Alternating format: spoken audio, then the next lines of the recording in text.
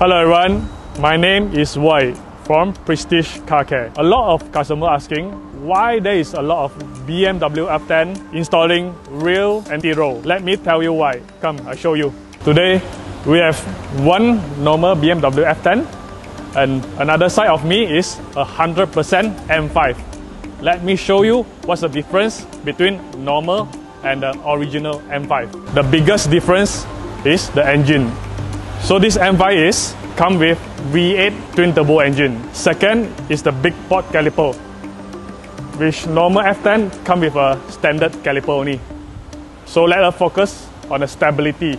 Okay, so let's take a look at the original M5 rear anti-roll size.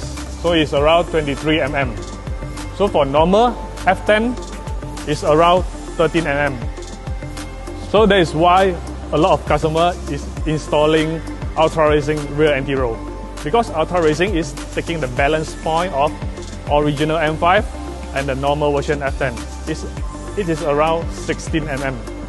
Why is it 16 mm? Because you won't sacrifice the comfort of driving while you can gain a lot of handlings at this measurement.